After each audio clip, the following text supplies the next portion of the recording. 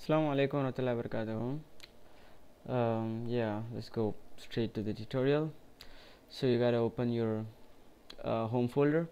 This is my home folder. Press ctrl H and browse to .gimp folder. Okay here I have .gimp hyphen 2.6 and this is the folder where you paste all your brushes. That's it. You paste your brushes and the next time you open your GIMP you'll have all the new brushes over there. And for example I've got uh, downloaded this uh, GIMP Paint Studio by some guy, uh, some Spanish guy, I guess.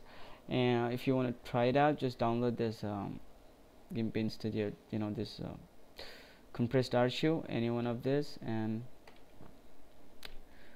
and then yeah, like extract it. And here, uh, he's got some you know very nice brushes. You can copy it and paste it over here. You know, paste it over here, and and he's got some uh, other like palettes patterns and tool options. Copy it and paste it in, into the respective folders. And he's got his own session and tools uh, configuration files so you know you, you, can back up your original file like what I've done over here uh, and copy and paste it overwrite it. And then you open your GIMP and it will have a different look you know it will have a new different look with um, look with new um, yeah with new brushes over here. Now as you can see over here there's some really nice brushes like yeah it's, it's, good you know.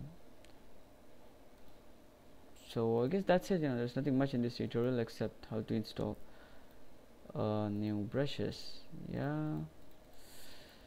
Actually you can make some really nice backgrounds with this. I don't know how he did that you know just it looks good. Now for all those gimpers um, this will be a bonus I guess.